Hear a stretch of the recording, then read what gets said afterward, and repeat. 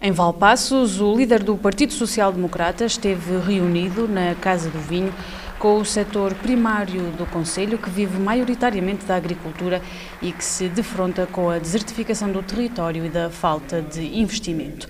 Pedro Passos Coelho ouviu os anseios e as preocupações dos principais produtores de Valpassos, a quem deixou um conselho valorizar o que é local e aproveitar melhor os fundos comunitários. Nós somos dos países que melhor gasta o dinheiro que é colocado à nossa disposição. Mas uma coisa é gastá-lo todo, outra coisa é gastá-lo bem. Ora, se nós nos estamos a afastar da média europeia, mesmo quando a média baixa, significa que gastamos o dinheiro, mas não tiramos dele o proveito que devíamos ter tirado.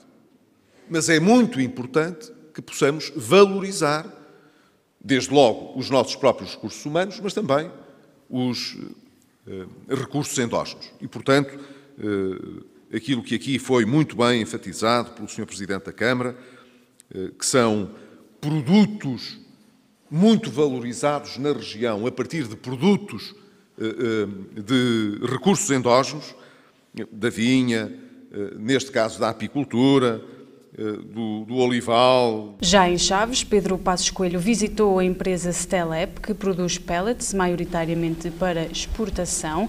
O social-democrata tem percorrido a região de Trás-os-Montes na jornada da valorização do território, que termina esta terça-feira.